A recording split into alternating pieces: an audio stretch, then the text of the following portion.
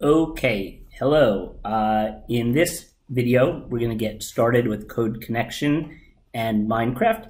Uh, basically, to give you a little insight, you can use Code Connection to code in Scratch, MakeCode, uh, code.org, and Tynker with either Minecraft Education Edition or Windows 10 Edition.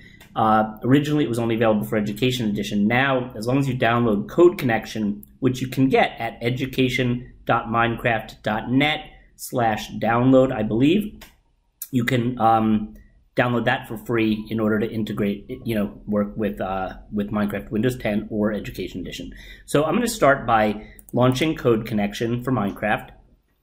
Uh, and basically, when I have window when I have Minecraft open in Education Edition or Windows 10, what I would do is, if you notice here, Code Connection is asking me to enter this into the command line in Minecraft. Um, so I'm going to copy that. And now in resume game, I'm going to go and hit T to get to the command line, and I'm going to paste that in there. And there we have it. So it connected uh, to the server. And you see my little agent here? That's always a good sign. Now I go back to this and it shows me these are among the ways that I things that I could code with. Um, all of them are very interesting and uh, all four of these deal with block code.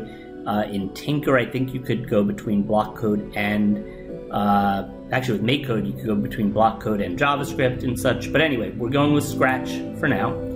So it's going to basically load up Scratch with a Scratch X extension um, which is something that they added specifically to incorporate uh, Minecraft blocks. So, it's loading up.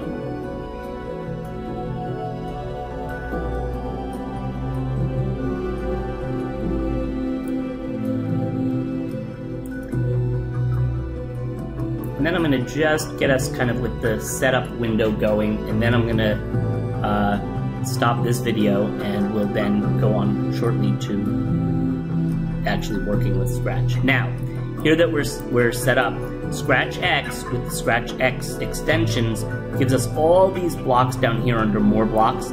These are blocks that are specific to working with Minecraft. So things like moving the agent forward, um, turning, uh, teleporting the agent, all sorts of different things. Uh, tilling, destroying blocks, building, all that kind of stuff is all incorporated here. And what I'm going to do too is I'm going to put this window here. What I did was, I'm sorry, I dragged it to the left and it, it locked it. And what's really happening here is I can basically split this screen. And then I'm going to do the same with the Minecraft screen. Oops.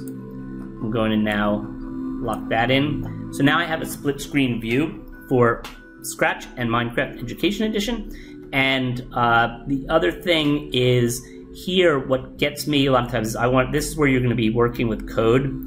Uh, which you'll see the way we have it set up now. I'd like to keep it like this, and the only way I've figured out so far is if I go to edit and use the small stage layout, then I kind of buy back this area for the coding. But I will stop there for now to keep these short and bite size.